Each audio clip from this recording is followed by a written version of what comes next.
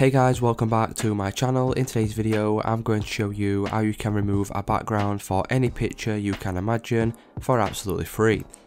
So first of all, what we need to do is we need to head over to a browser and then we want to come over to express.adobe.com. Now, as I said before, this is absolutely free to do and free to use. So what you can do now, as you can see once you are on the homepage right here, there will be an option for remove background. So if we click on this, that will then allow you to drag and drop an image or browse your device. So what I'm going to do is I'm going to drag and drop just a picture of Ronaldo from my second screen here and then I will drop it in and then what that will do is it will automatically detect and remove the background.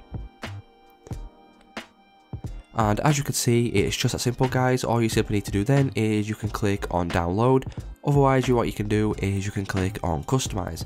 If you click on customize, it will allow you to go into your image and just refine it a little bit yourself, but you know, the final result is actually pretty good if we just zoom in to this image right here as you can see, all of the edges and the outsides are really crisp and really clean, so it's just that simple guys. If this video did help you out, please leave a like on today's video, and I will see you in the next one.